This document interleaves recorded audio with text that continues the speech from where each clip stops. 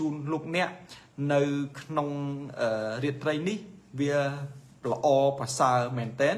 ដែលខ្ញុំគិតថាលោកអ្នកអាចធ្វើបានគ្រប់គ្នាណាបាទមិនថាអ្នកមានមិនថាអ្នកក្រមិនថា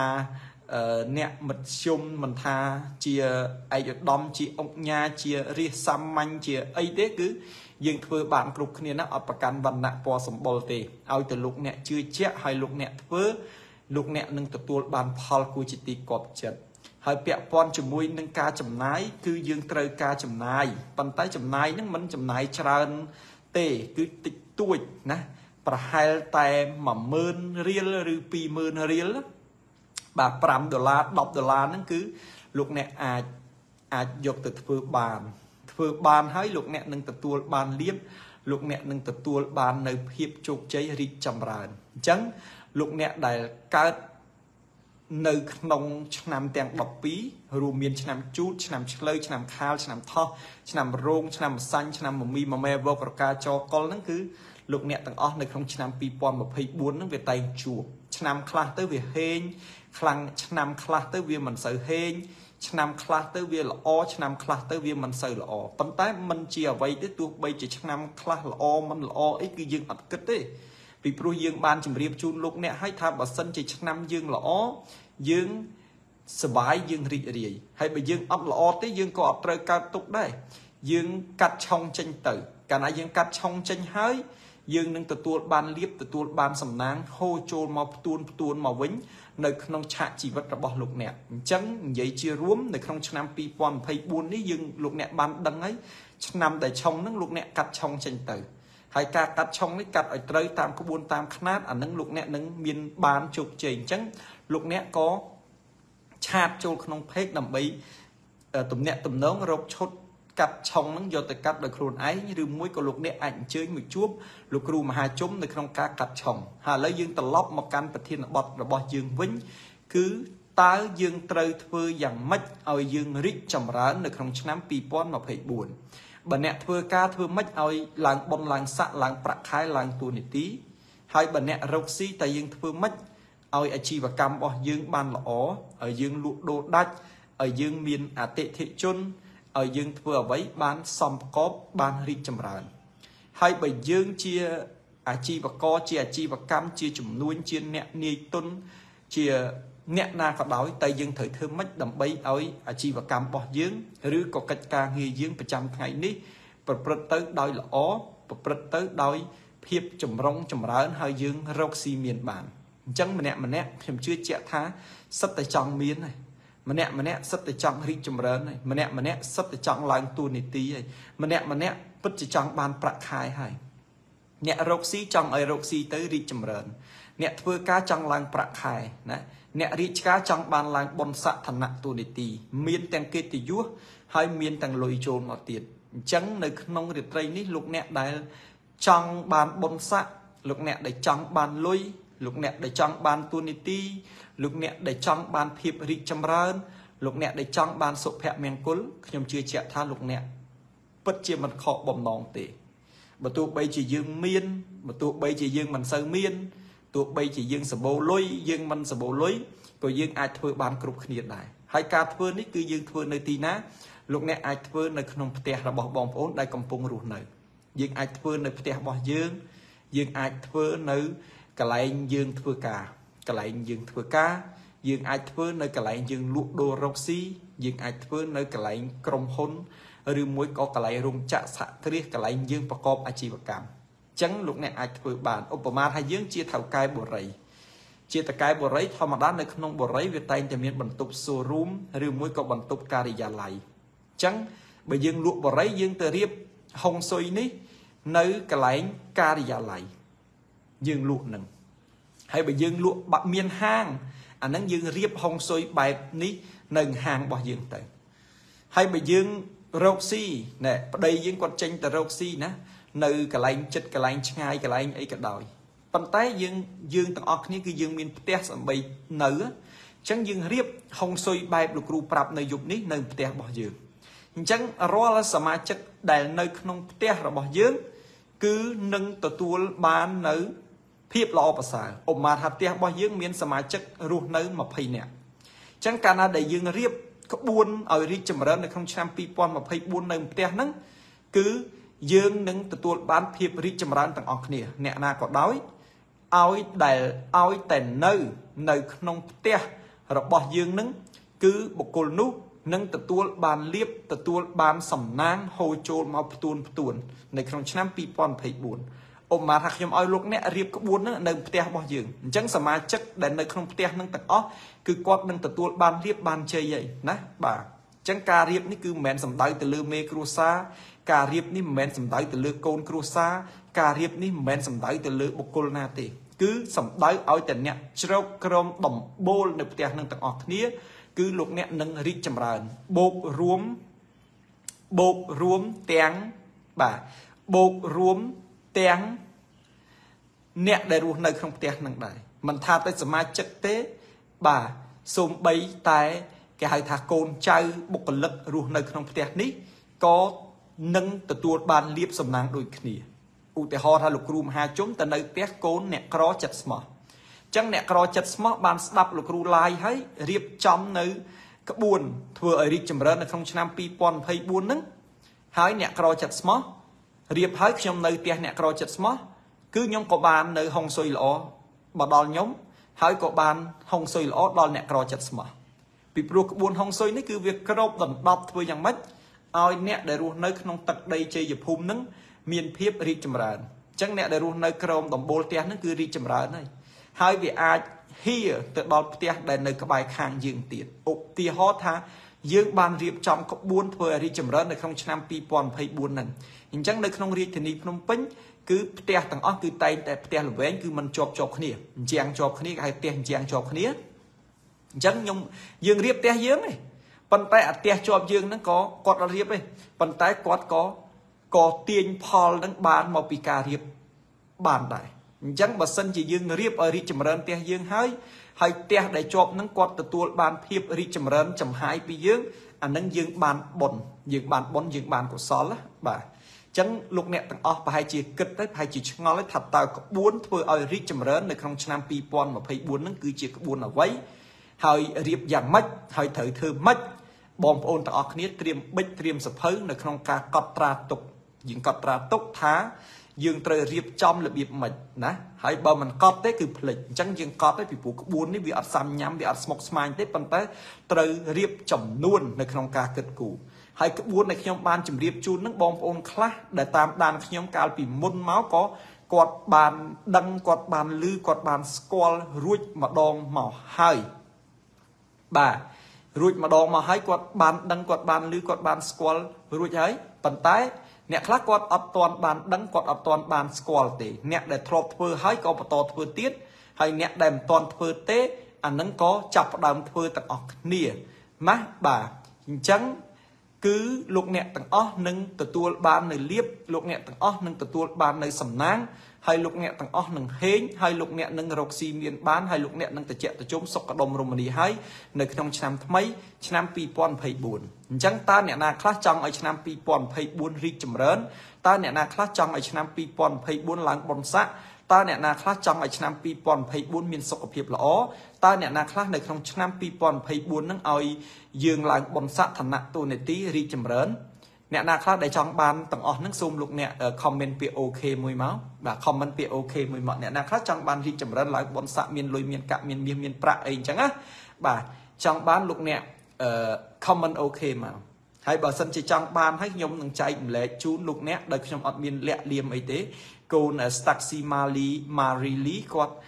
comment OK មុនគេសុតពីទូក៏ comment OK ដែរសុតពិសិដ្ឋបាទសុទ្ធតែអ្នកចង់មានហើយហើយបូករួមទាំងខ្ញុំលោកគ្រូមហាជុំហ្នឹងក៏ខ្ញុំចង់មានដែរខ្ញុំក៏ comment អូខេដែរប៉ុន្តែខ្ញុំ comment អត់កើតអញ្ចឹងខ្ញុំ comment ក្នុងចិត្តថាខ្ញុំអូខេអញ្ចឹងបងប្អូនសុទ្ធតែចង់មានចង់បានហើយអញ្ចឹងខ្ញុំនឹងចែកនៅក្បួនរៀបឲ្យយើងមានបាននៅក្នុងឆ្នាំ2024អញ្ចឹងបងប្អូនដែលពេញចិត្តនៅការ live របស់លោកគ្រូសូមបងប្អូនជួយ share ជួយ share នៅវីដេអូឲ្យលោកគ្រូម្នាក់មួយម្នាក់មួយណាជួយ share ទៅ ដើម្បីចែកម្លែកទៅកាន់អ្នកដទៃទៀតពីព្រោះអ្នកខ្លះគាត់អត់បានមើលប៉ុន្តែគាត់ចង់មានដែរអ្នកខ្លះគាត់អត់គាត់អត់បានមើល live ទេប៉ុន្តែគាត់ចង់មានដែរអញ្ចឹងយើងបាន share ទៅ មិត្តភ័ក្តិរបស់កូននឹងឃើញហើយគាត់ទៅធ្វើតាមគាត់មានអាហ្នឹងគាត់នឹងបានបុណ្យបានកុសល យើងបានបុណ្យអូម៉ាថាខ្ញុំឡាយអំពីរបៀបដែលធ្វើឲ្យគេអ្នកមានតាមរបៀបការរៀបហុងស៊ុយហ្នឹងឯងអញ្ចឹងបងប្អូនក៏ ក៏ក៏ក៏ share ទៅអញ្ចឹងបងប្អូន share ទៅអ្នកដែលឃើញបងប្អូន share គេចូលស្ដាប់អាហ្នឹងគេរៀបទៅគេរីកចម្រើនគេខ្លាយទៅជាអ្នកមានអាហ្នឹងបងប្អូនបានបុណ្យដែរអញ្ចឹងណាបងប្អូនជួយ share ផងណា share ទី1ចែកម្លែកទៅកាន់អ្នកដទៃ share ទី2លើកទឹកចិត្តឲ្យលោកគ្រូមហាជុំផ្ដល់នៅកម្លាំងចិត្តណាបងប្អូន share មួយបងប្អូនស្មើនឹងការអឺស្រឡាញ់លោកគ្រូមហាជុំហើយក៏ជួបនឹងលោកគ្រូមហាជុំអញ្ចឹងបងប្អូនកូនក្មួយទាំងឡាយទាំងពួងដែលកំពុងតាមដានទស្សនាការ live របស់ខ្ញុំហ្នឹងគឺខ្ញុំស្រឡាញ់បងប្អូនគ្រប់គ្នាខ្ញុំស្រឡាញ់កូនចៅគ្រប់គ្នាអញ្ចឹងកាលណាដែលលោកគ្រូស្រឡាញ់កូនចៅគ្រប់គ្នាហើយកូនចៅគ្រប់គ្នាក៏ស្រឡាញ់លោកគ្រូដែរយើងស្រឡាញ់គ្នាទៅវិញទៅមកអញ្ចឹងលោកគ្រូមិនមែនជាអ្នកមានទេលោកគ្រូគឺជាបុគ្គលសាមញ្ញធម្មតាណាបាទប៉ុន្តែលោកគ្រូមានទឹកចិត្តដ៏បរិសុទ្ធអញ្ចឹងអត់មានលុយអីទៅចែកឲ្យបងប្អូនទេ ព្រោះបើចែកលុយបងប្អូនចែកតែម្ដងបងប្អូនអស់លីងប៉ុន្តែខ្ញុំចែកអំពីក្បួនខ្នាតហ្នឹងយកទៅប្រាប់បងប្អូនគឺបងប្អូនកូនក្មួយនឹងបានក្បួននេះយកទៅធ្វើហើយបងប្អូនយកទៅធ្វើទៅបងប្អូនរីកចម្រើនបងប្អូនមានបានហើយដឹងគុណខ្ញុំមកជីវិតណែ អញកាលមុនរលស៊ីអត់បានទេលក់ដូរអត់ដាច់ធ្វើអីអត់សូវជោគជ័យធ្វើអីអត់សូវរីកចម្រើនទេលេងស្រាប់តែបានស្ដាប់លោកគ្រូមហាជុំទៅធ្វើតាមគាត់ទៅស្រាប់តែឥឡូវហ្នឹងរីកចម្រើនលក់ដូរដាច់ជាងមុនរលុយបានជាងមុនអ្វីអ្វីដំណោះស្រាយបានមុនគេជពាក់លុយគេសងលុយណែឲ្យប្តីធ្វើការឡើងបុណ្យស័កឡើងឋានៈឡើងទួនាទីធ្វើអីបានកាក់កបធ្វើអីបានរីកចម្រើនអញ្ចឹងលោកអ្នកទាំងអស់ពិតជា ជឿជាក់ឲ្យលើកធ្វើឲ្យអរគុណខ្ញុំណាខ្ញុំសប្បាយចិត្តណាពេលដែលខ្ញុំបានប្រាប់ទៅកាន់អ្នកដតីឲ្យគេធ្វើឲ្យគេជោគជ័យគឺខ្ញុំសប្បាយចិត្តមែនតើបាទខ្ញុំមិនចង់បានឲ្យបងប្អូនយកលុយយកកាក់យកមាសប្រាក់អីមកឲ្យខ្ញុំទេអត់ចង់បានសូម្បីតែបន្តិចប៉ុន្តែបងប្អូនធ្វើទៅបងប្អូនមានណាគឺបងប្អូននឹកឃើញខ្ញុំហើយទោះបីបងប្អូនមិនបាននឹកឃើញខ្ញុំពេលហ្នឹងក៏បងប្អូនទៅនឹកឃើញពេលក្រោយដែរណា ហើយបើទោះបីជាបងប្អូនមួយចំនួនគាត់អត់បាននឹកឃើញខ្ញុំក៏បងមានបងប្អូនមួយចំនួនទៀតដែលគាត់បាននឹកឃើញដល់លោកគ្រូមហាជុំម្នាក់នេះដែរឧទាហរណ៍ថាបងប្អូននឹកឃើញខ្ញុំ100នាក់នឹកឃើញខ្ញុំតែ10នាក់អញ្ចឹងខ្ញុំឡាយ1000នាក់ក៏មានអ្នកនឹកឃើញខ្ញុំដល់ទៅ100នាក់ដែរអញ្ចឹងណាអញ្ចឹងមួយថ្ងៃនឹកឃើញ100នាក់អញ្ចឹង10ថ្ងៃ1000នាក់អញ្ចឹង100ថ្ងៃអ្នកនឹកឃើញខ្ញុំដល់ទៅ10000នាក់ដល់ទៅ10000នាក់បាទដល់ទៅ10000នាក់អញ្ចឹងខ្ញុំសប្បាយចិត្តហើយខ្ញុំខ្ញុំអត់មានលុយឲ្យបងប្អូនទេ បាទព្រោះជីវភាពខ្ញុំវាអត់ល្អដែរប៉ុន្តែខ្ញុំបានការចែកម្លែកខ្ញុំបានការចែកម្លែកបានក្បួនហ្នឹងយកទៅប្រាប់បងប្អូនណាបាទអញ្ចឹងបងប្អូនយកទៅធ្វើទៅបងប្អូនមានលៀបមានជ័យមានលុយហូរចូលណាពិតទេបាទពិតហើយបងប្អូនបានស្ដាប់ខ្ញុំនិយាយទៅបងប្អូនដឹងបងប្អូនយកទៅចែកម្លែកប្រាប់បងប្អូនដទៃទៀតណាថា ណែអញរៀបក្បួនតាមគ្រូមហាជុំអស់លុយតិចឥឡូវហ្នឹងបានផលមកវិញល្អអញ្ចឹងឯងធ្វើតាមទៅគីឡូរីកចម្រើនអញ្ចឹងយើងយកទៅប្រាប់ទៅខ្ញុំជាមេកូនចៅជាតំណាងចែកចាយហើយយកក្បួនខ្ញុំទៅចែកចាយបន្តទៀតអាហ្នឹងបងប្អូនរីកចម្រើនបងប្អូនរស់ស៊ីមានបានអញ្ចឹងក្បួនរបស់ខ្ញុំដូចខ្ញុំបានជំរាបជូនបងប្អូនអញ្ចឹងខ្ញុំនៅកណ្ដាលមិនតឹងពេកហើយក៏មិនធូរពេកដែរអត់ស្មុគស្មាញច្រើនទេ បាទមិនតឹងពេកហើយក៏មិនធូរពេកដែរអត់ស្មុគស្មាញច្រើនទេណាអ្នកដែលធ្លាប់បានជួបបានដឹងធ្វើតាមគ្រូមហាជុំកន្លងមកគឺអត់តឹងទេហើយក៏អត់ធូរដែរល្មមអាចធ្វើបាន ដោយសារខ្ញុំជឿជាក់ថាអឺខ្សែចបៃកាលណាដែលយើងរត់តឹងពេកអានឹងវាអត់ពីរោះទេវាវាវាដាច់ខ្សែហើយកាលណាដែលវាធូរពេកក៏វាអត់ពីរោះដែរប៉ុន្តែបើយើងល្មមអានឹងវាពីរោះ បងប្អូនមកស្ដាប់ទៅរៀងរៀងអញ៉ែអញ៉ៃពេកបងប្អូនអត់ធ្វើទេណាបាទអត់ធ្វើអញខ្ជិលធ្វើម៉ែអញស្ដាប់បញ្យល់ទេអញអត់ធ្វើទេប៉ុន្តែបើបងប្អូនស្ដាប់ទៅដូចវាងាយពេកបងប្អូនអញកុំធ្វើថាអញជឿទេវាមិនដែរអាណាគ្រាន់តែធ្វើអញ្ចឹងសោះបានលុយទេបាទប៉ុន្តែបើមើលទៅល្មមអីតំណងដែរនេះអាចសាកធ្វើមើលអាចសាកធ្វើមើលគីឡូបានណាហើយអញ្ចឹងធ្វើទៅបានមិនបានអានឹងចាំចាំគិតទៀតចាំគិតទៀតណាបាទចាំគិតទៀត ចឹងឥឡូវយប់នេះយើងនៅលើទូកតែមួយបាទទូកលោកគ្រូមហាជុំលោកគ្រូមហាជុំតកងទូកកូនចៅជាទស្សនិកជនដែលកំពុងតាមដានទស្សនាហ្នឹងជាអ្នកជិះទូកមួយខ្ញុំចឹងខ្ញុំនឹងនាំលោកអ្នកឲ្យទៅឃើញនៅរបបកំហើញថ្មីមួយទៀតដែលនឹងនាំឲ្យលោកអ្នកហេងនៅក្នុងឆ្នាំ2024ចឹងនៅក្នុងឆ្នាំ2024សល់3ថ្ងៃទៀតចឹងចាប់ពីស្អែកទៅរុះរាន់រៀបចំហុងស៊ុយដើម្បីទទួលអំណរឆ្នាំថ្មីឆ្នាំ2024ទាំងអស់គ្នា ចឹងបងប្អូនជួយ share ឲ្យលោកគ្រូម្នាក់មួយម្នាក់មួយណាបាទអរគុណកូនណាវីអរគុណកូនកណ្ដុលតូចអរគុណកូនលិញឡាមអរគុណកូនសារ៉េត touch អរគុណចាស់ស្រីលក់មន់នៅផ្សារឈើទៀលនៅបាត់ដំបងបាទអរគុណច្រើនទាំងអស់គ្នាណាជូនពរលោកអ្នកសុខសប្បាយសំណាងល្អថ្ងៃមុនមានអ្នកមួយនៅអាមេរិកគាត់បានប្រាប់ខ្ញុំថាគាត់នៅអាមេរិក ពីដើមសង្គមចាស់មកគាត់នៅផ្សារឈើទៀលខេត្តបាត់ដំបងហ្នឹងហើយគាត់បានទៅនៅអាមេរិកដូចជាឆ្នាំ82 83អញ្ចឹងណាបាទហើយអញ្ចឹងគាត់បានអឺប្រាប់ថាចៃស្រីលក់មាន់នៅផ្សារឈើទៀលហ្នឹងប្រហែលជាធ្លាប់ស្គាល់អីចឹងគាត់និយាយលេងចឹងប៉ុន្តែប្រហែលជាក្មេងជំនាន់ក្រោយ ចឹងចេះស្រីនៅឈើទៀលប្រហែលជាគាត់ក្មេងទេបាទក្មេងអញ្ចឹងប្រហែលជាមិនស្គាល់ចាស់ចាស់ទេព្រោះអ៊ំស្រីម្នាក់នោះគាត់បញ្ជូនដល់70ឆ្នាំជាងហើយគាត់មិននិយាយប៉ុន្តែគាត់គាត់មានសុខកំណើតនៅឈើទៀលហ្នឹងបាទហើយមានអ៊ំស្រីម្នាក់ទៀតគាត់មានសុខកំណើតនៅត្បូងឃ្មុំប៉ុន្តែគាត់នៅត្បូងឃ្មុំហ្នឹងតាំងពីសង្គមចាស់តាំងពីជំនាន់សម្ដេចសីហនុណាបាទហើយគាត់បានចេញពីស្រុកនឹងយូរហើយបាទទៅនៅអាមេរិកហើយគាត់មកជួបខ្ញុំហ្នឹងគាត់ថា លោកគ្រូនៅស្រុកកំណើតមួយមួយមួយគាត់ដែរអញ្ចឹងខ្ញុំសួរថាអាកៅកៅឯងនៅត្បូងឃ្មុំហ្នឹងនៅតាំងពីពេលណាគាត់ថាអូខ្ញុំនៅតាំងពីសង្គមតាំងពីជំនាន់សម្បត្តិសៀនុហើយចឹងស្គាល់គាត់អត់អត់ស្គាល់ទេបើខ្ញុំកើតបែក79ហើយហ្នឹងខ្ញុំកើតសម័យអឺខ្ញុំតាមពិតទៅខ្ញុំកើតនៅសម័យសាធារណរដ្ឋប្រជាមានិតកម្ពុជាបាទ ក្រោយពីរំដោះមកសាធារណរដ្ឋប្រជាមានិតកម្ពុជាបន្ទាប់មករដ្ឋកម្ពុជាបន្ទាប់មកបានប្រជាជាតិចក្រកម្ពុជាទី2បាទយើងកាលពីសម័យ79បែកមកអានឹងគេហៅសាធារណរដ្ឋប្រជាមានិតកម្ពុជាបន្ទាប់មកដល់ឆ្នាំ89កៅគុតហ្នឹងអានឹងវាចូលដល់សម័យរដ្ឋកម្ពុជាបន្ទាប់ពីរដ្ឋកម្ពុជាហើយសម័យអ៊ុនតាក់គេហៅសម័យអន្តរកាល បន្ទាប់ពីសម័យអន្តរកាលហើយ93មកបោះឆ្នោតហើយនឹងស្ដេចចូលស្រុកបកូនណាចូលស្រុកគេហៅចំនួនស្ដេចចូលស្រុកហ្នឹងគឺប្រជាណាចក្រកម្ពុជាទី2ហេតុអីបានហៅប្រជាណាចក្រកម្ពុជាទី2ដោយសារសម័យប្រជាណាចក្រកម្ពុជារបស់យើងហ្នឹងគឺអលំ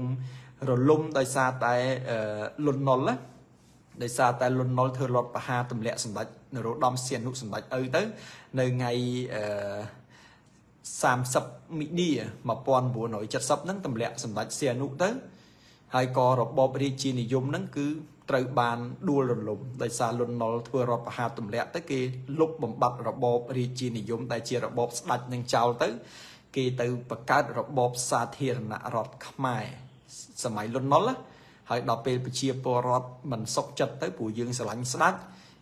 ក៏តស៊ូទៅប៉ុន្តែប៉ុលពតនឹងចូលមកគេហៅសម័យកម្ពុជាប្រជាធិបតេយ្យដល់ពេលដែលវាប៉ុលពតនឹងវាធ្វើបាបប្រជាពលរដ្ឋសម្លាប់មនុស្សបខំធ្វើពលកម្មអត់ឃ្លានធ្វើបាបទៅបានគុណសម្ដេចធំធំខាងយើងបច្ចុប្បន្នហ្នឹងមានសម្ដេចអឺជាស៊ីមមានសម្ដេចហេងសំរិន មានសម្ដេចដេជោហ៊ុនសែនហើយនឹងសម្ដេច គណៈគណៈគេហៅថាគណៈមន្ត្រីធំធំណានៅសម័យនោះលោកបានចូលព្រៃទៅលោកបានតស៊ូរំដោះប្រជាជាតិចេញពីកញ្ញាំខ្លាកញ្ញាំប៉ុលពតហ្នឹងទៅហើយក៏បែក79មកក្រោយពីរំដោះមកក៏បង្កើតសាធារណរដ្ឋប្រជាមានិតកម្ពុជា ហើយក្រោយមកទៀតក៏ដូរពីសាធារណរដ្ឋប្រជាមានិតកម្ពុជានឹងទៅជារដ្ឋកម្ពុជា ហើយក្រោយមកទៀតសម័យអ៊ុនតាក់មករៀបចំការបោះឆ្នោតហ្នឹងគឺបង្កើតនៅសម័យអន្តរកាលគេហៅសម័យអន្តរកាលណាអន្តរកាលបានន័យថាវានៅកណ្ដាលវាអត់មានអីឲ្យអន្តរកាលមិនថាអ្នកដឹកនាំហ្នឹងវាអត់ទាន់បានធ្វើអីទេអន្តរកាលមិនថានៅមួយកន្លែងហើយក្រោយមក93គេហៅចំនួនបកូណាចូលស្រុកចំនួនស្ដាច់ចូលស្រុកបោះឆ្នោតអន្តៈហើយបានព្រះជាណាចក្រកម្ពុជាទី2ដោយសារព្រះជាណាចក្រកម្ពុជាកម្ពុជាទី1ហ្នឹងវា ដួលនៅនៅ1970ហើយដល់ពេលយើងកន្លងទៅ20ឆ្នាំ ដូចជា91 21ឆ្នាំយើងក៏មានប្រជាណាចក្រកម្ពុជាទី2អញ្ចឹងណា បាទអញ្ចឹងវាមានអញ្ចឹងប្រវត្តិណាអញ្ចឹងខ្ញុំសូមរំលឹកបន្តិចតាមពិតទៅខ្ញុំមិនគួរនិយាយនៅរឿងនឹងទេពីព្រោះវាជារឿងនយោបាយប៉ុន្តែ វាជារឿងចំណេះដឹងមួយដែលកូនចៅសិស្សគុណទាំងអស់ហ្នឹងគួរតែធ្វើការសិក្សាហើយក៏ឆ្វេងយល់ដើម្បីឲ្យដឹងព្រោះនេះគឺជាចំណេះដឹងមួយណាបាទអញ្ចឹងណាហើយកូនចៅទាំងអស់គ្នាគឺបានដឹងចំណេះដឹងបន្ថែមអី បើបានឈុតកាត់ឆុងមកធ្វើមិនទៀតលោកគ្រូស្អែកបានមកដល់ហើយអឺយើងនឹងមានវីដេអូដើម្បីណែនាំកូនណាបាទកូនឆាតចូលភេកទៅគេនឹងថតវីដេអូបង្ហាញថាអូយើងត្រូវធ្វើម៉េចដើម្បីកាត់ឆុងបានគឺងាយងាយណាបាទហើយឆ្ងល់អីយើងអាចសួរក្នុងភេកបានហើយកូនពៅមាសជំរាបសួរលោកឪកូនកូននឹកលោកឪខ្លាំងខ្លាំងជាពិសេសបងរ៉ាឌីនឹកលោកឪឡើងសុបិនឃើញអូយអរគុណណាស់បាទជួបលោកឪតាមសុបិនណាជូនពរឲ្យកូន បានតែសុខសប្បាយណាកូនណាសុខសប្បាយទាំងអស់គ្នាកូនរ៉ាឌីកូនពៅមាសកូនអីហ្នឹងណាកូនទាំងអស់គ្នាកូនសាវីកូនអីហ្នឹងកូនពៅកូនអីហ្នឹងណាបាទជូនពរឲ្យសុខសប្បាយទាំងអស់គ្នាកូនសម្លាញ់ទាំងអស់គ្នាបាទឥឡូវអរគុណណាខ្ញុំមិននិយាយអីវែងឆ្ងាយទេកុំឲ្យដាច់ភាកឥឡូវនេះដល់ពេលវេលាដែលខ្ញុំនឹងមកចែកជូនបាទខ្ញុំមកចែកជូននៅក្បួនដើម្បីរៀបចំ នៅហុងស៊ុយឲ្យមានភាពរីកចម្រើន នៅក្នុងឆ្នាំ2024ខាងមុខ ចឹងឆ្នាំ2024ខាងមុខហ្នឹងគឺគៀកដល់មែនតែនហើយណាបាទគឺនៅសល់តែ3ថ្ងៃទៀតទេ គឺថ្ងៃនេះ28ស្អែក29ខាន់ស្អែក30ខាន់ស្អែក1 31អញ្ចឹងដល់ពេលថ្ងៃ31គឺចូលដល់ថ្ងៃ1នៅថ្ងៃនៅថ្ងៃថ្ងៃច័ន្ទថ្ងៃ1ហ្នឹងអញ្ចឹងពីថ្ងៃ1ទៅគឺយើងនឹងទទួលនៅអ្វីអ្វីដែលជាថ្មីហ្នឹងមែនទេកូនវ៉ាន់រាវីកូនទាំងអស់គ្នា ចឹងនៅថ្ងៃទី1នេះគឺយើងត្រូវរៀបចំនៅក្បួនហុងស៊ុយថ្មីចឹងវត្ថុធាតុដើមនៃក្បួនហុងស៊ុយនេះសំខាន់បំផុតគឺដើមរាសីគឺដើមរាសីហ៎បងប្អូនបាទដើមរាសីសំខាន់បំផុតចឹងសួរថាដើមរាសីហ្នឹងថ្លៃអត់មិនថ្លៃទេ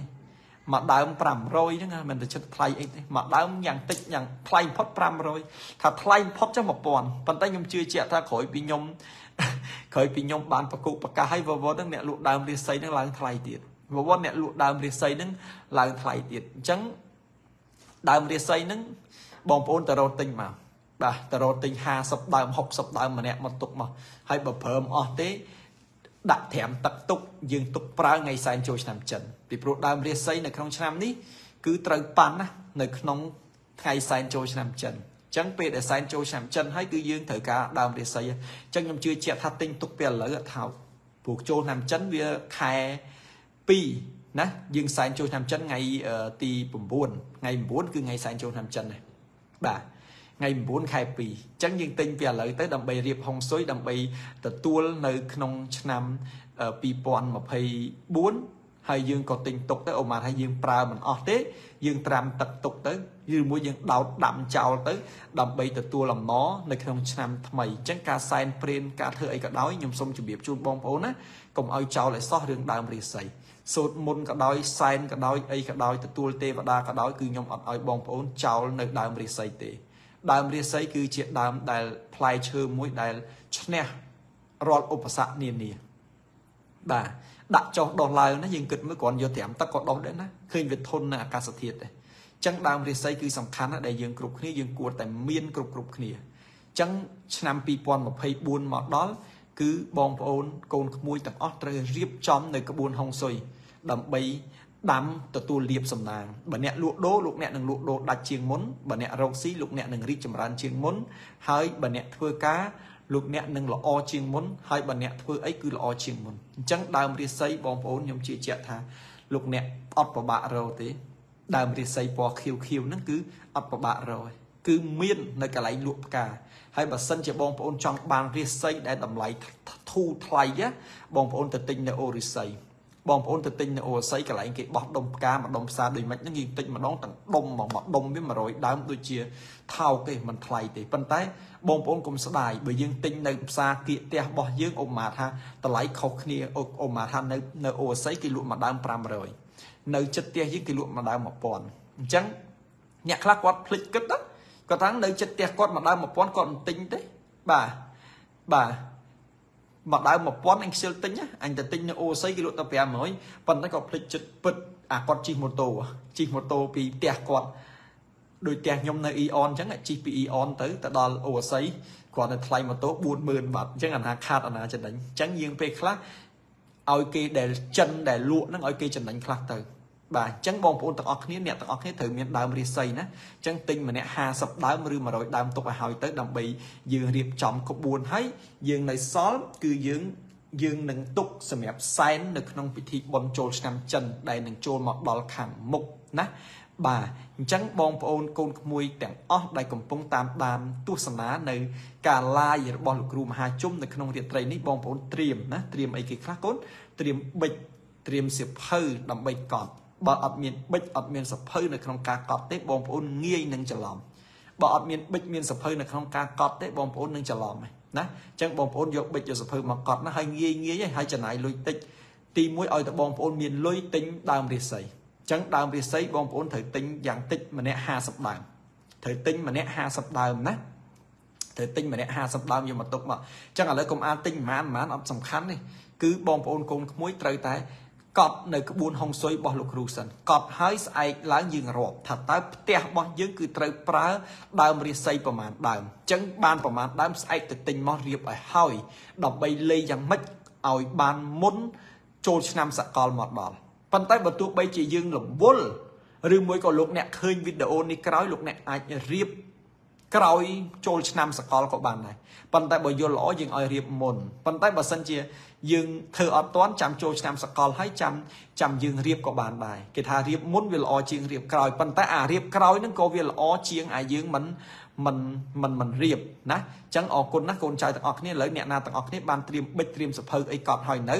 ឬមួយសម័យឥឡូវស្រួលយើងមានទូរស័ព្ទយើងណូតទៅសេទៅកន្លែងយើងណូតយើងកត់យើងទុកអីអញ្ចឹងទៅណាបាទអញ្ចឹងឥឡូវកូនចៅទាំងអស់គ្នាទាំងអស់មិនថាចិនមិនថាខ្មែរមិនថាយួនមិនថាវៀតណាមមិនថាជ្វាមិនថាអ៊ីស្លាមមិនថាអីទាំងអស់គឺយើងអាចធ្វើបានគ្រប់គ្រប់គ្នាអាចធ្វើបានគ្រប់គ្រប់គ្នាអត់សំខាន់អូខ្ញុំគ្រីស្ទៀនអូ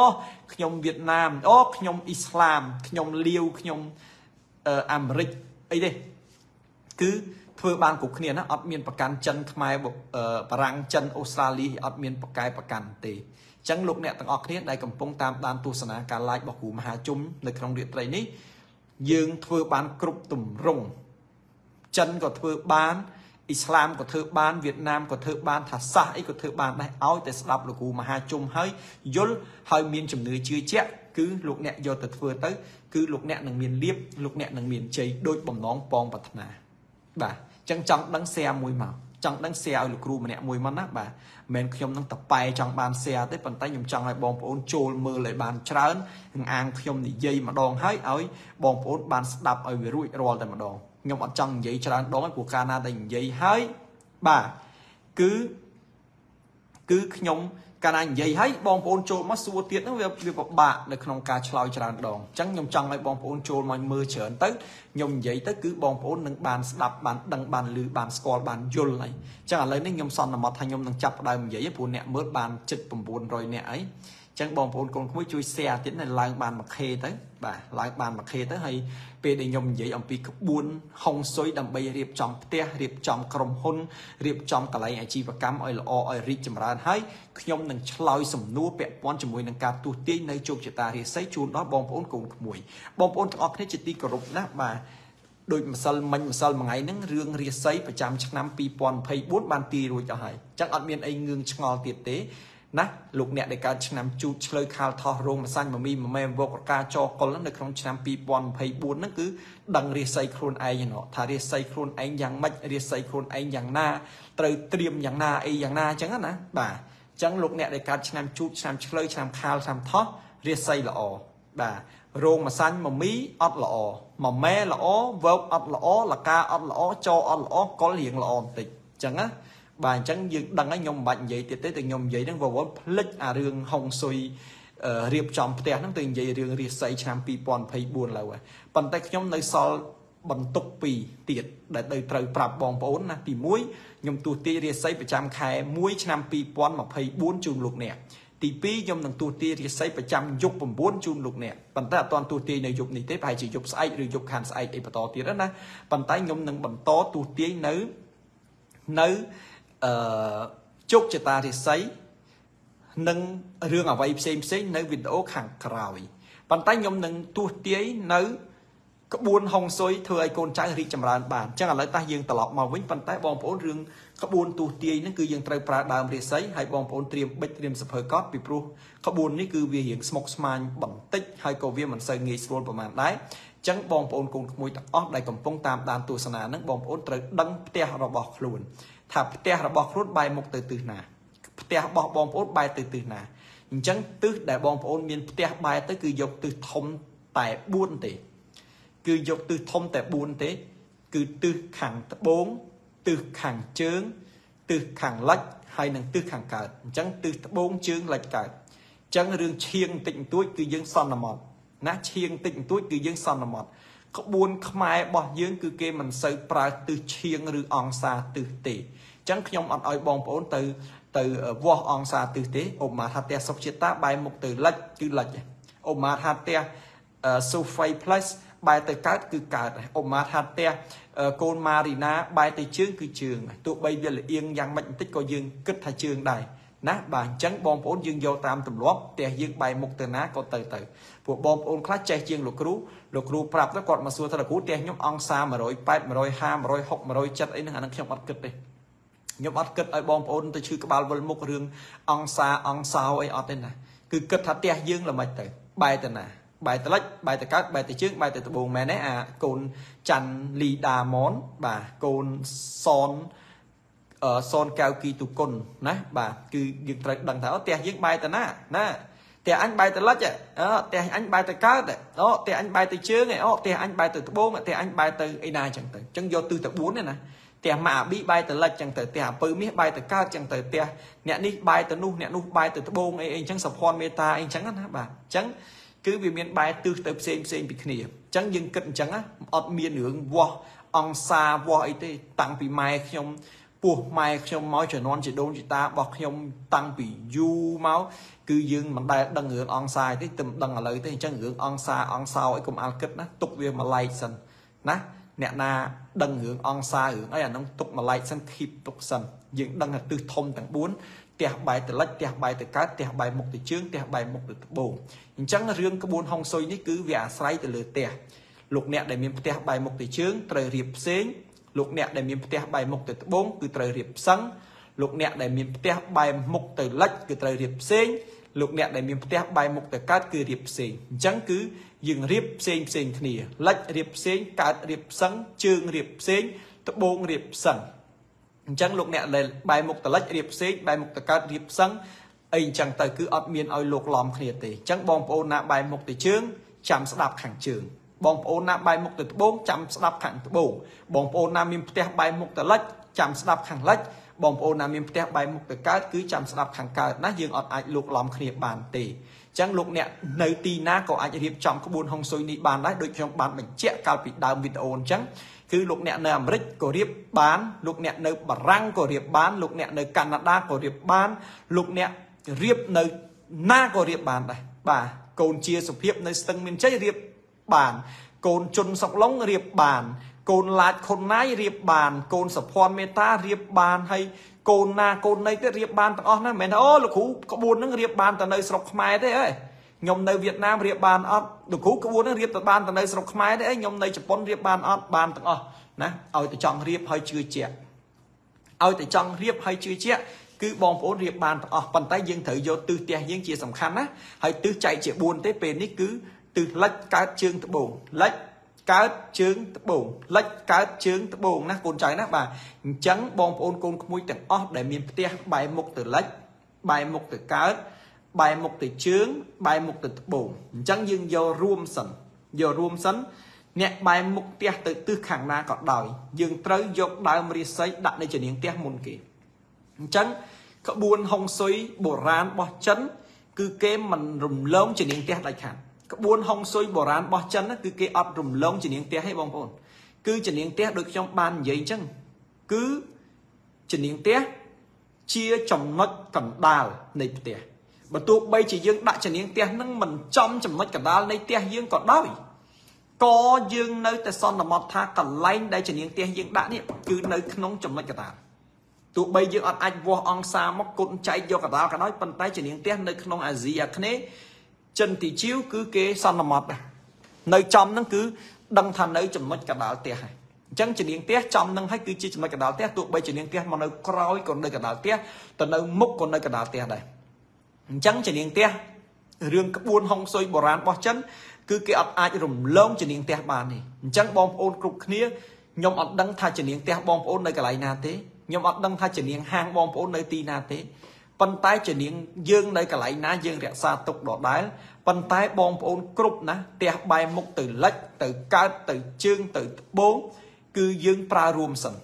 យើងប្រើរួមសិនអញ្ចឹងបងប្អូនត្រូវរករាសី6ដើមបងប្អូនត្រូវរករាសី6ដើមហើយបងប្អូនត្រូវរកធោពណ៌បៃតងចំនួន2ជំហានទី1ផ្ទះដែលបែរមុខទៅទិសទាំងអស់និយាយរួមអត់សំខាន់ទិសទេ គឺផ្ទះលិចកើតជើងត្បូងណាគឺបងប្អូនត្រូវរករាសី6ដើមគ្រប់គ្នាបងប្អូនកត់ត្រូវយកធោពណ៌បៃតងចំនួន2ដាក់សងខាងចនាងផ្ទះហើយបងប្អូនដាក់ដើមរាសីមកខាង3ដើមចឹងបងប្អូនយកធោពណ៌បៃតងដាក់សងខាងជានាងផ្ទះហើយដាក់ដើមរាសី3ដើមសងខាងចឹងបានថាយើងប្រើដើមរាសី6ដើមហើយយើងប្រើធោផ្កាពណ៌បៃតង ហើយធោផ្កានេះគឺយើងប្រើពីរយើងដាក់នៅពីមុខជំនាងផ្ទះរបស់យើងសងខាង ហើយយើងដាក់ដើមរាសីនេះមកខាង3ដើមចឹងទី1ជំហានទី1គឺយើងប្រើដើមរាសីចំនួន6ដើមចឹងជំនាញផ្ទះរបស់យើងប្រើធូបៃតងសងខាងហើយគឺយើងដាក់ដើមរាសី3ដើមហើយដើមរាសីនេះដាក់ឲ្យដកចេញឬមួយយ៉ាងម៉េចអត់ទេ គឺយើងដាក់ថែរក្សាជារៀងរហូតពេញមួយឆ្នាំ ហើយបងប្អូនចាំមើលមើលថាតើនៅឆ្នាំ2025លោកគ្រូមហាជុំមានការអាប់ដេតឲ្យដកបន្ថែមឬមួយក៏ដូរពណ៌ធោប៉ុន្តែនៅក្នុងឆ្នាំ2024ដូចនឹង2023ដូចនឹងឆ្នាំ2022អញ្ចឹងនៅក្នុងឆ្នាំ2024នេះបងប្អូនត្រូវយកបាទត្រូវយកធោពណ៌បៃតងចំនួន2ដាក់សងខាងជំនាងផ្ទះហើយយកដើមរាសីចំនួន6ដើមបែរថាមួយខាង3ដើមដាក់នៅជំនាងផ្ទះទី1អញ្ចឹងបងប្អូនត្រៀមមកឲ្យកប់ណាជំនាងផ្ទះដាក់ធោពណ៌បៃតងសងខាងហើយដើមរាសី3ដើមមួយខាងអស់6ដើមជំនាងផ្ទះដាក់រួចហើយបន្ទាប់មកទៀតគឺយើងរកធោពណ៌កញ្ចក់រកធោពណ៌កញ្ចក់ណាបងប្អូនណាបាទរកធោពណ៌កញ្ចក់បែរថាធោពណ៌កញ្ចក់ធោកែវបាទធោពណ៌ពណ៌កញ្ចក់ពណ៌កែវហ្នឹងមានថាធោស ធោពណ៌សហ្នឹងដែលយើងអាចមើលឃើញពីក្នុងបានអញ្ចឹងបងប្អូនត្រូវរកធោពណ៌កែវពណ៌កញ្ចក់ហ្នឹងចំនួន1ហើយបងប្អូនប្រើដើមរាសី8ដើមបងប្អូនប្រើដើមរាសី8ដើមអញ្ចឹងបងប្អូនត្រូវដាក់ដើមរាសី8ដើមនៅក្នុងថូពណ៌កញ្ចក់ហ្នឹងថូកញ្ចក់ហ្នឹងហៅថាថូថូសបងប្អូនទៅទៅកន្លែងលក់ថូផ្កាបងប្អូនឃើញអាថូថ្លាថ្លាពណ៌សកញ្ចក់ហ្នឹងណាបាទអញ្ចឹងបងប្អូនយកថូពណ៌កញ្ចក់ហ្នឹងដាក់ដើមរាសី8ដើមថូពណ៌កញ្ចក់ហ្នឹងដាក់ដើមរាសី8ដើមដាក់កន្លែងណា ដាក់កន្លែងបន្ទប់ទទួលភ្ញៀវអង់គ្លេសគេហៅ living room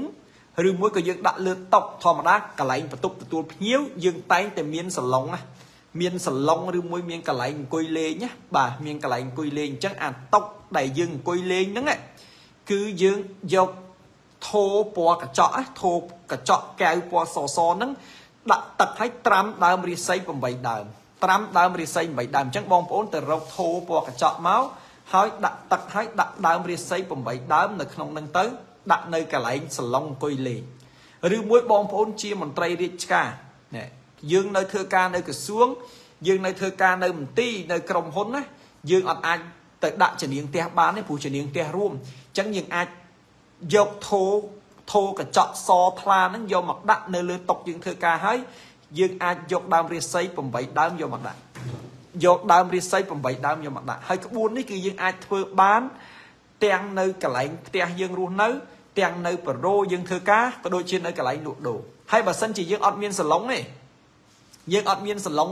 ដើម្បីទទួលភ្ញៀវទេឬមួយក៏កូនយើងវាទូចវាលពឹសកាលណាទៅដាក់លើតុទៅកូនយើងវាលពឹសទៅវាតោងវាវាធ្លាក់បែកទៅធ្លាក់បែកអាហ្នឹងក្បួនហុងស៊ុយប្រយ័ត្នណាមានបញ្ហាអញ្ចឹងយើងអាចដាក់នឹងសាឡុងនឹងបានទេកូនចៅយើងយកទៅដាក់លើទូទូតាំងបាទទូតាំងអាទូដែលយើងកំពុងតែតាំងហ្នឹង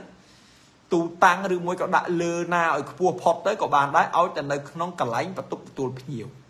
ណាបាទ ប៉ុន្តែបងប្អូនលក់ដូរឬមួយក៏បងប្អូនលក់ដូរក៏យើងអាចដាក់បានដែរកន្លែងណាក៏បានដែរឲ្យទៅនៅក្នុងបន្ទប់ទទួលភ្ញៀវប៉ុន្តែឧបមាថាផ្ទះយើងនៅនៅជនបទនៅជនបទអត់មានកន្លែងទទួលភ្ញៀវទេណាអត់មានកន្លែងទទួលភ្ញៀវយើងនៅស្រុកស្រែគឺផ្ទះឈើណាបាទផ្ទះផ្ទះនៅស្រុកស្រែផ្ទះឈើឧទាហរណ៍ថាផ្ទះយើងគឺផ្ទះក្បឿង3ខ្នង បាទផ្ទះក្បឿង3ខ្នងផ្ទះក្បឿង3ខ្នងអញ្ចឹងទៅខាងក្រោមវាអត់មានអីទេគឺ គឺយើងដាក់ក្រែអីអង្គុយលេងទទួលភ្ញៀវក្រោលគោលក្រោលកបីអីអញ្ចឹងទៅ ហើយយើងទៅនៅខាងលើអញ្ចឹងបងប្អូនត្រូវរកអាតសកឡោងបងប្អូនត្រូវរកសកឡោងធម្មតាផ្ទះរបស់យើងនៅស្រុកស្រែមានតសកឡោងតសកឡោងហ្នឹងបងប្អូនយកតនើមួយមក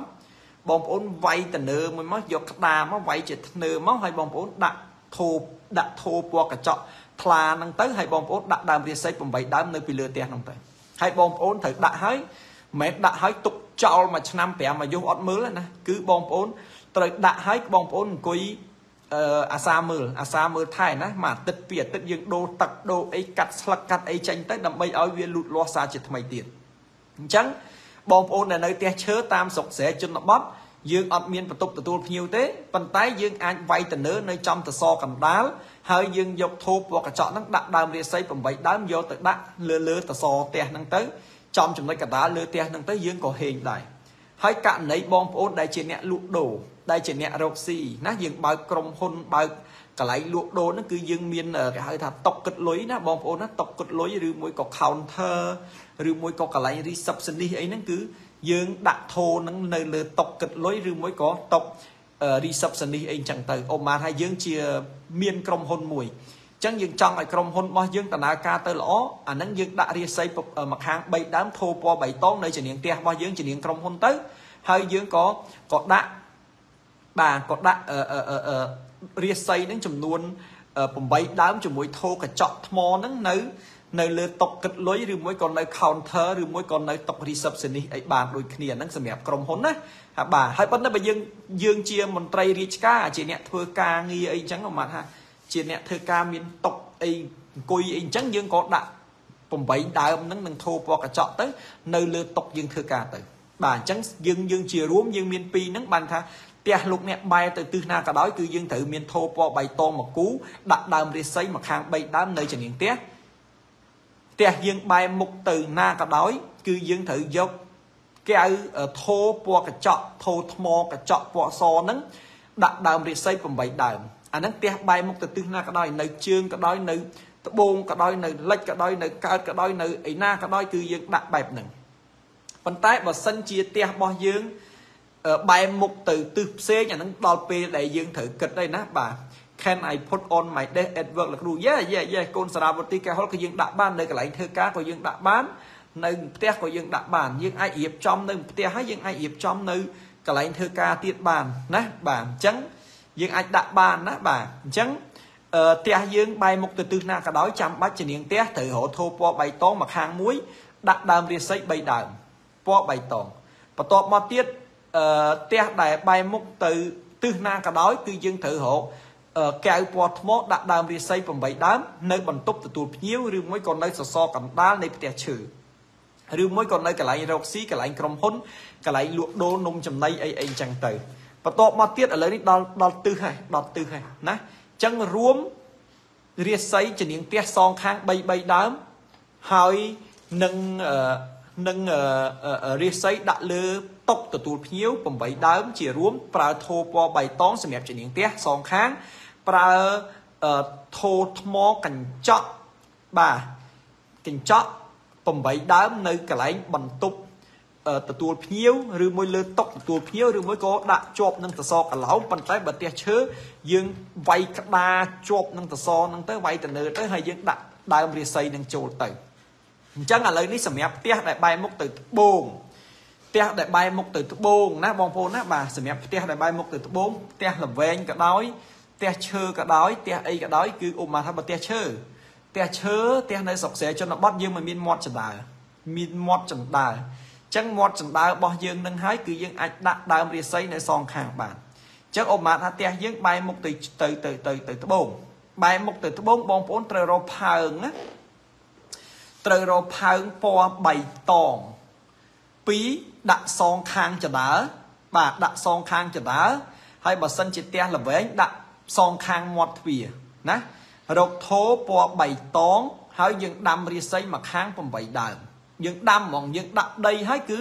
យើងដោតដើមរាសីហ្នឹងមកខាង8ដើមតែម្ដងសម្រាប់ផ្ទះបែរមុខទៅត្បូងអញ្ចឹងលោកអ្នកដែលមានផ្ទះបែរមុខទៅត្បូងបងប្អូនត្រូវរកផើងយើងអត់ប្រើធោទៀតទេយើងអត់ត្រាំទឹកទេរាសីនេះគឺយើងដាំផ្ទាល់នឹងដីតែម្ដង គឺបងប្អូនត្រូវរកផើងពណ៌បៃតងហើយបងប្អូនត្រូវ ត្រូវដាំរាសីនេះដោយដីមកខាង8ដើម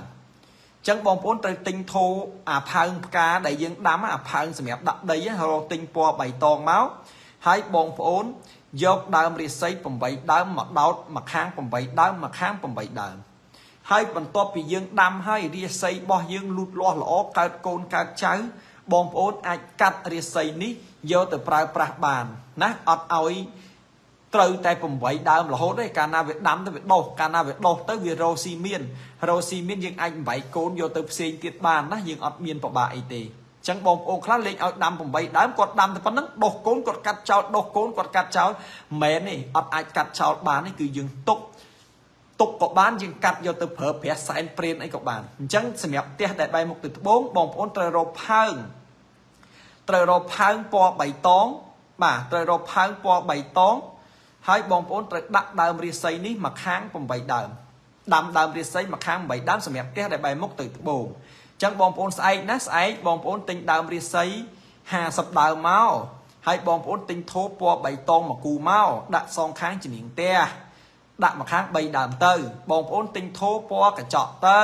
ដាក់រាសី8ដើមទៅ ហើយបងប្អូនទៅទិញធូបពណ៌បៃតងផើងពណ៌បៃតងមកគូមកសម្រាប់ផ្ទះបែរមុខទៅត្បូង ហើយដាក់ដីទៅដាំដើមរាសីមកខាង8ដើមទៅក្បួននេះគឺជាក្បួនចាស់ប៉ុន្តែនៅតែបន្តធ្វើដដែលបន្ទាប់មកទៀតបងប្អូនដែលមានផ្ទះបែរមុខទៅទិសខាងជើង បែរមុខទៅទិសខាងជើងបងប្អូនត្រូវរកធោពណ៌ផ្ទៃមេឃបងប្អូនត្រូវរកធោផ្កាពណ៌រកផើងបងប្អូនរកផើងផ្កាពណ៌ផ្ទៃមេឃណាបាទ អញ្ចឹងរកផើងដាំផ្កាពណ៌ផ្ទៃមេឃអញ្ចឹងបងប្អូនទៅកន្លែងលក់ដើមឈើមកបងប្អូនទៅទិញផើងផ្កាពណ៌ផ្ទៃមេឃនឹងមកហើយបងប្អូនដាក់ដីឲ្យបងប្អូនដាំដើមរាសីចំនួន5ដើមសងខាងផ្ទះល្វែងយើងដាក់សងខាងទៅផ្ទះវិឡាយើងដាក់សងខាងទៅផ្ទះឈើយើងដាក់មាត់ចដើរបស់យើង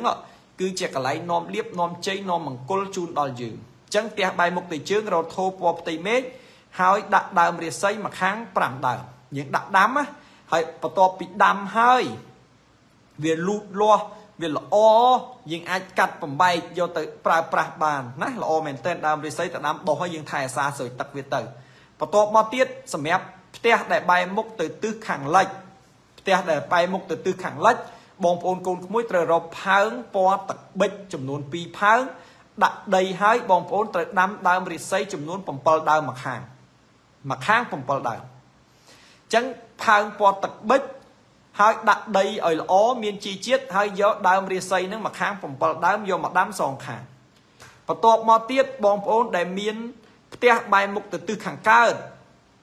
ដែលមានផ្ទះបែរមុខទៅទិសខាងកើតបងប្អូនត្រូវរកផើងពណ៌ទឹកមាសបងប្អូនត្រូវរកផើងពណ៌ទឹកមាស ហើយដាក់ដីទៅដាំដើមរាសីមកខាង9ដើមណាផើងពណ៌ទឹកមាសហើយដាំដើមរាសីមកខាង9ដើមអញ្ចឹងក្បួននេះគឺជាក្បួនដែលទទួលបានជោគជ័យរីកចម្រើនឲ្យយើងរកស៊ីមានបានលក់ដូរដាច់ឡើងបុនឡើងស័កនៅក្នុងឆ្នាំ2024ហើយបើបងប្អូនណាជឿបងប្អូនសាកធ្វើទៅព្រោះអត់អស់លុយច្រើនទេធូបធូបផ្កាយើងទិញតាមផ្សារគេមានលក់ផើងផ្កាដែលពណ៌បៃតងពណ៌ទឹកប៊ិចពណ៌ផ្ទៃមេឃ និងពណ៌ទឹកមាសហ្នឹងគឺយើងអាចទៅទិញបាននៅកន្លែងតាមលក់ផ្កាថោកថោកទេផើងមួយ10000 20000អីយកមកដាក់មកហើយបើសិនជាបងប្អូនពិបាកនៅក្នុងការរកផើងពណ៌ទឹកមាសឬមួយរកផើងពណ៌ទឹកប៊ិចឬមួយរកផើងពណ៌ផ្ទៃមេឃបងប្អូនអាចទិញថ្នាំទិញថ្នាំយកមកលាបពីលើផើងផ្កានេះបានយកផផើងមកលាបបានណាបាទ យកផើងមកលាបយកថ្នាំមកលាបលើផើងផ្កាបានយើងដាំបានឧបមាថាមុខផ្ទះយើងបែរមុខទៅទិសខាងកើតអញ្ចឹងយើងត្រូវប្រើផើងពណ៌ទឹកមាសប៉ុន្តែយើងពិបាករកទិញផើងពណ៌ទឹកមាសអញ្ចឹងយើងទិញផើងពណ៌ធម្មតាមកសិនមកហើយយើងទិញថ្នាំ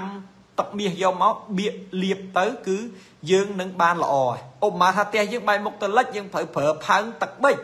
ចឹងផើងទឹកប៊ិចអត់មានលក់ទេយើងទៅទិញផើងធម្មតាមកយើងទិញថ្នាំពណ៌ទឹកប៊ិចយកមកបៀកពីលើលាបទៅ ខាងជើងពណ៌ផ្ទៃមេឃយើងអត់អាចរកផើងផ្ទៃមេឃបានទេយើងទៅទិញផើងធម្មតាមកយើងទិញអឺថ្នាំថ្នាំលាបនឹងយកមកលាបពណ៌ផ្ទៃមេឃលាបពីលើទៅបៃតងក៏ចឹងដែរយើងយកពីលាបពីលើទៅណាបាទចឹងលោកអ្នកអាចអាចធ្វើបានអាចធ្វើបានណាបាទបើសិនជានៅអាមេរិកវាមាន snow នៅអាមេរិកនៅបារាំងវាមាន snow អានឹងបើសិនជាខែធ្លាក់តកយើងលើកទុកក្នុងផ្ទះបាន យើងលើកទុកក្នុងផ្ទះជួយសង្គ្រោះជីវិតវាសិនដល់ពេលអាកាសធាតុធម្មតាយើងលើកវាចេញមកក្រៅមកណាកូនសាវុធទីកៅហុលយើងអាចក្រោបកណាត់កស៊ូអីដើម្បីផ្ដល់នូវភាពកក់ក្ដៅដល់គាត់ឬមួយក៏យើងអាចដាំវានៅក្នុងផ្ទះសិនបន្ទាប់មកពីអស់ snow ចូលដល់ខែធម្មតាខែ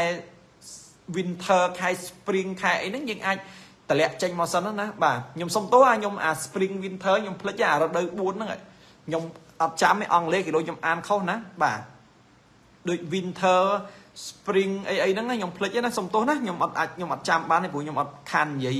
ខានដឹងយូរអារឿងហ្នឹងបាទអញ្ចឹងយើងនៅស្រុកគេវាវាវាវាអាចធ្លាក់ snow ធ្លាក់អីយើងអាចលើកចូលក្នុងសិនឬមួយគឺយើងអាចសម្រួលវាសិនណាបាទអញ្ចឹងណាអញ្ចឹងយើងអាចទិញថ្នាំយកមកលាបទៅអញ្ចឹងខ្ញុំសូមរំលឹកម្ដងទៀតសម្រាប់លោកអ្នកដែលចង់រៀបហុងស៊ុយឲ្យរីកចម្រើននៅក្នុងឆ្នាំ2024លោកអ្នកអាច អឺអាចរកផ្ការកដើមរាសីយកមកដាក់តាំងបានអញ្ចឹងជំនាញផ្ទះបងប្អូនរកធោពណ៌បៃតងមកខាង3អមកខាង1ហើយដាក់ដើមរាសីមកខាង3ហើយនៅកន្លែងបន្ទប់ទទួលភ្ញៀវបងប្អូនរកធោពណ៌កញ្ចក់ថ្លាសមើលឃើញដល់ក្នុងដាក់ដើមរាសី8ដើមសម្រាប់បងប្អូនកូនក្មួយដែលមានផ្ទះបែរមុខទៅត្បូងបងប្អូនរកធោពណ៌បៃតងហើយដាក់ដីដាំមកខាង8ដើម បងប្អូនមានផ្ទះបែរមុខទៅទិសជើងបងប្អូនត្រូវរកផើងពណ៌ផ្ទៃមេឃដាំដើមរាសីមកខាង5ដើមបងប្អូនដែលមានផ្ទះទិសខាងលិចបងប្អូនរកផើងពណ៌ទឹកប៊ិចដាក់ដើមរាសីមកខាង7ដើមបងប្អូនដែលមានផ្ទះបែរមុខទៅទិសកើតរកផើងពណ៌ទឹកមាសហើយដាំដើមរាសីមកខាង9ដើមនេះគឺជាក្បួនហុងស៊ុយដើម្បីទាញលៀប នេះគឺជាក្បួនហុងស៊ុយដើម្បីទាញនៅភាពរីកចម្រើនរុងរឿងនៅក្នុងឆ្នាំ2024អញ្ចឹងនៅក្នុងឆ្នាំ2024នេះប្រសិនបើលោកអ្នកមានជំនឿជឿជាក់ហើយចង់ឲ្យការរីកចម្រើននៅក្នុងអាជីពឬមួយក៏កិច្ចការលក់ដូររកស៊ីរបស់លោកអ្នកលោកអ្នកអាចសាកល្បងរៀបតាមក្បួនដែលលោកគ្រូមហាជុំបានជម្រាបជូននោះលោកអ្នកនឹងទទួលបានផលល្អគួរជាទីគាប់ចិត្តអញ្ចឹងខ្ញុំសូមបញ្ជាក់ថាសម្រាប់អ្នកដែលជឿ សម្រាប់អ្នកដែលជឿលោកអ្នកក៏ធ្វើទៅប៉ុន្តែបើសិនជាលោកអ្នកមិនជឿទេអានឹងលោកអ្នកមិនបាច់ធ្វើទេពីព្រោះវាអត់ប្រយោជន៍អ្នកខ្លះហ្នឹងអញអត់ជឿទេអញចេះធ្វើធ្វើទៅគីឡូវាបាន អាក្រែងលោបានហ្នឹងណាគឺវាភាកច្រើនវាអត់ហើយប៉ុន្តែបើសិនជាយើងជឿចិត្តទេលោកគ្រូមហាជុំនិយាយទៅមានហេតុផលអត់អស់លុយតិចទេគ្រាន់តែទិញដើមរាសីទិញផើងយកមកដាក់មុខផ្ទះដាំលម្អទៅដាក់ទៅអានឹងយើងបានជោគជ័យយើងរីកចម្រើនប៉ុន្តែបើសិនជាយើងអត់ជឿយើងកុំធ្វើណាហើយអ្នកអ្នកអ្នក អ្នកដែលជឿធ្វើទៅ អ្នកលក់ដូរលក់ដូរដាច់អ្នកដែលមានមានបន្តទៀតទៅអីអីចឹងទៅណាបាទកូនស្រីតូចបៃលិនធ្វើតាមលោកគ្រូរួចហើយបាន2ថ្ងៃហើយលោកគ្រូបាទ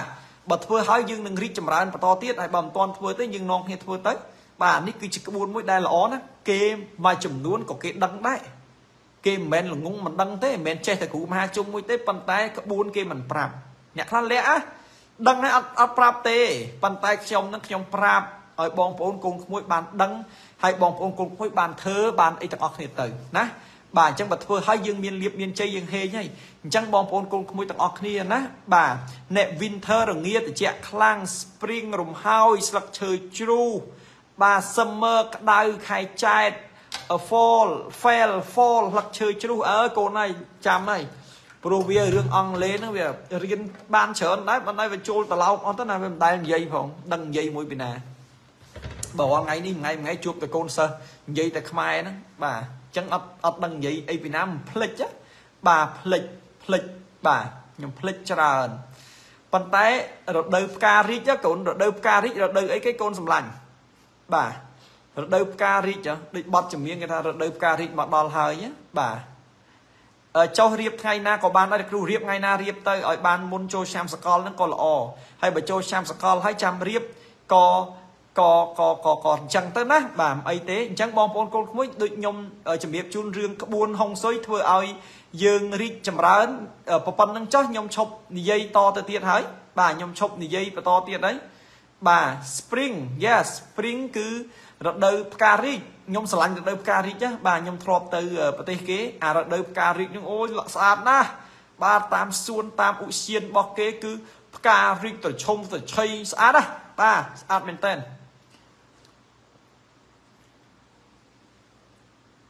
ខ្មែរយើងក៏ក៏រដូវផ្ការីកហ្នឹងក៏ក៏ល្អដែរបងប្អូនដើមកងោក រីកអាខែចូលឆ្នាំហ្នឹងរីកពេញផ្លូវដូចគ្នាកងោកតបៃព្រៃណាបាទខ្មែរយើងមិនគួរដាំសាគូរ៉ាទេខ្ញុំប្រាប់ឲ្យហើយខ្ញុំខ្ញុំមិនមែនថាខ្ញុំរើសអើងប្រឆាំងទេយើងគួរនាំគ្នាអភិរក្សនៅដើមឈើរបស់យើងដែលផ្កាស្អាតណាបាទដូចកងោកអីគឺអូយល្អណាស់បាទល្អមែនតែនកងោកណាបាទបានផ្លែវាទុំយកមកស្ងោឆ្ងាញ់ទៀតកងោកហ្នឹងបាទអញ្ចឹងកងោកណាបងប្អូន យើងដាំកងោកដាំអីទៅសនុកយើងខែប៉ុនខែទៀតអីកាច់កងោកហ្នឹងយកមកទទួលទេវតាពីដើមមិញមកស្រុកយើងក្រយើងដែរមានផ្កាណាល្អព្រះអង្គហើយដាក់ទៅដើមរាសីហ្នឹងបេះដើមឈើដើមព្រៃនៅចិត្តទាំងផ្កាកដាស់ផ្កាមយលផ្កាអីហ្នឹងយកមកដោតដាក់ទៅគឺល្អគ្មានប្របាកអីទេបាទចឹងណាបាទគឺខ្ញុំឥឡូវខ្ញុំកំពុងតែខ្ញុំគិតណាខ្ញុំគិតខ្ញុំសម័យខ្ញុំគិតថាបើសិនជាខ្ញុំមានលុយច្រើន ខ្ញុំមានដីមួយកន្លែងខ្ញុំដាំដើមឈើណាដែលគេចង់បាត់បង់ដូចជាដើមចាដើមចាឥឡូវគឺអត់សូវសម្បូរទេប៉ុន្តែឥឡូវនេះនៅកំពង់សោមកន្លែងរៀមឃើញគេដាំចាតាមផ្លូវច្រើនណាអាចារហ្នឹងណាគឺមានប្រយោជន៍ណាបងប្អូនពីដើមមិញយើងអត់ទាន់មានថង់មានស្បោងគឺយើងយកលឹកចាហ្នឹងយកមកខ្ចប់កតងធ្វើនំថ្នោតធ្វើអាកោតថ្នោតធ្វើអីហ្នឹងគឺយើងប្រើស្លឹកចាហើយផ្កាចាគឺស្អាតណា បាទគេហៅលងាផ្កាចាហ្នឹងគឺស្អាតណាស់ហើយខ្ញុំពីដើមមិញមកស្រុកខ្ញុំសម្បូរផ្កាដើមចាអញ្ចឹងយើងបេះស្លឹកចាហ្នឹងមកយកមកយកឈើចាក់ថ្មិញឲ្យយកអាដូងអាសកៃដូងក្បាបដូងហ្នឹងយកមកផ្ទាស់បញ្ចូលគ្នាធ្វើជាមួកធ្វើជាកតេលធ្វើជាអីចឹងណាបាទគឺល្អមែនតើបាទឥឡូវនេះចាដាច់ពូជទេនៅអត់សូវសម្បូរទេបាទហើយគេហៅលងាផ្កាគោលងាផ្កាចាអីហ្នឹង បងប្អូនណាបាទយើងនឹកឃើញអនុស្សាវរីយ៍របស់យើងបងប្អូនសម័យមើលហើយបើយើងនៅស្រុកខ្មែរយើងមិនសូវនឹកឃើញអនុស្សាវរីយ៍ប្រហែលទេប៉ុន្តែបើបងប្អូននៅស្រុកអាមេរិកនៅស្រុកបារាំងនៅស្រុកអីហ្នឹងគឺបងប្អូនប្រកបជានឹកឃើញនៅអនុស្សាវរីយ៍ហើយណាបាទនឹកឃើញណាហើយនឹកឃើញគឺនឹកស្រុកហ្មងនឹកស្រុកនឹកស្រែនឹកចំការនឹកដំណាំអីចឹងហ្មងណាបងប្អូនបាទអញ្ចឹងបងប្អូនកូនក្មួយជាទីគោរពណាបាទលោកអ្នកទាំងអស់គ្នាខ្ញុំបាននិយាយរឿងហុងស៊ុយរៀបឲ្យរីកចម្រើនរួចហើយ កាលពីឆ្នាំ2022 23គឺយើងរៀបរហូតដល់24ទៀតណាបាទអញ្ចឹងបងប្អូនកូនក្មួយទាំងអស់បាទដែលកំពុងតាមដានទស្សនាយកទៅធ្វើកូនឌីចរិយាកូនឃើញនៅហាងលក់នំនៅសៀមរាបឃើញគេរៀបដើមរាសីដោយលោកគ្រូប្រាប់អញ្ចឹងហើយហាងនឹងលក់ដាច់ណាលោកឪបាទតែគេរៀបហើយគឺគេលក់ដាច់ហើយកូនបាទ ចឹងបងប្អូនណាខ្ញុំសូមទស្សទាយឲ្យបន្តទៀតខ្ញុំនិយាយសង្ខេបបែបខ្លីបន្តិចបងប្អូនណានៅក្នុងឆ្នាំ2024ហ្នឹងគឺមានឆ្នាំមួយចំនួន ដែលរាសីឡើងមានឆ្នាំមួយចំនួន ដែលរាសីចុះមានឆ្នាំមួយចំនួន ដែលត្រូវប្រយ័ត្នអញ្ចឹងឆ្នាំដែលឡើងឆ្នាំដែលអឺធ្លាក់ឆ្នាំដែលអីហ្នឹងយើងកុំខ្វល់បងប្អូន អ្នកដែលឆុងឆ្នាំក្តីអ្នកដែលមិនឆុងក្តីអ្នកដែលអីក៏ដោយគឺចង់ឲ្យរីកចម្រើនចង់ឲ្យជោគជ័យបងប្អូនអាចជាវខ្សែករបស់លោកគ្រូមហាជុំយកទៅពាក់បានខ្សែកគឺគឺល្អណាស់បាទខ្សែកលោកគ្រូមហាជុំហ្នឹងខ្ញុំថ្ងៃនេះខ្ញុំភ្លេចពាក់ដោយសារខ្ញុំអឺដូរអាវខ្ញុំហាត់ប្រាណហើយខ្ញុំដោះខ្សែកនេះចេញ